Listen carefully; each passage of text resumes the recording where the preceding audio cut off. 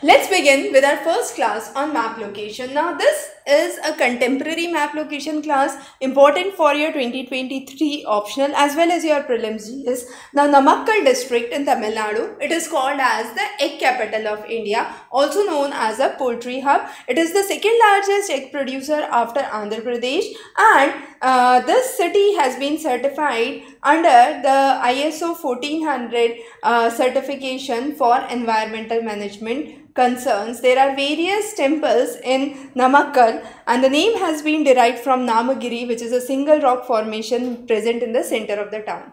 Modhera becomes the first village in Gujarat in India to be powered by solar cells throughout the day every day. And this is where a major energy bill conservation can take place. And the entire project is based on 6 megawatt project 6 me uh, 15 megawatt battery storage system. And even the sun temple including the 3d light show which is present there is completely based on solar energy. The next is the india's largest compressed biogas plant has been inaugurated at Sangrur in Punjab. Now this has been commissioned with Verbio AG which is a German based company and is present over an area of 20 acres, provides employment to nearly 400 people and uh, this is become a very important center because of the same. The next is Cochin, present in Ernakulam. The new name is Kochi. Now, the Cochin International Airport has become the world's first airport which is fully solar powered, built on a public-private partnership model, a PPP model. Uh, this solar power plant was inaugurated in 2015 and has a capability to produce 50 to 60,000 units of electricity every day. The project in the next 25 years would uh, uh, avoid nearly 3 lakh tons of carbon dioxide emitted into the atmosphere.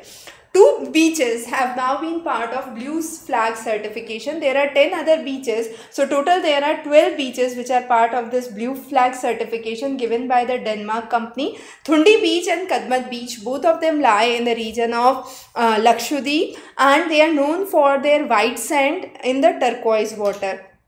The next is first hydrogen train to be run between Kalka and Shimla and this is one of the heritage routes. Now uh, there are various new circuits which would be designed for example the Guru, Kripa circuit to showcase the various uh, uh, routes but this is the first hydrogen train of India extremely important. The next is Vainu Bappu Observatory in Kavalur uh, in Tamil Nadu. Now this is where the Vainu Bappu uh, telescope is installed uh, by the Professor Bappu and this is known for its discoveries related to presence of rings around Uranus, the satellites of Uranus, uh, Ganymede, which is a satellite of Jupiter, B stars and other uh, lithium depleting giants. The next is Haritalyangar in Himachal Pradesh. Now recently fossils of lizards and snakes have been discovered back to the Miocene era and this indicates that this region had remained in the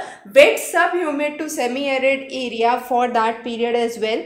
Now since these lizards are cold-blooded found in the region of Pakistan and uh, the nearby areas, this fossil fuel of varanid species is limited to India but its presence in Haritalyangar has made it an important discovery. The first steel slag road. Now steel slag is the remain from the steel production which is done which is actually um, a byproduct and it's of no use but this slag is now used for construction of road and this is by the Central Road Research Institute. This effort has been made in Hazira in Surat. Uh, now this process steel slag road is 30% cheaper to build than the other roads and therefore uh, it is important that this can be a better future which we can uh, look for. Also important is it has a very high durability because of the presence of steel slag.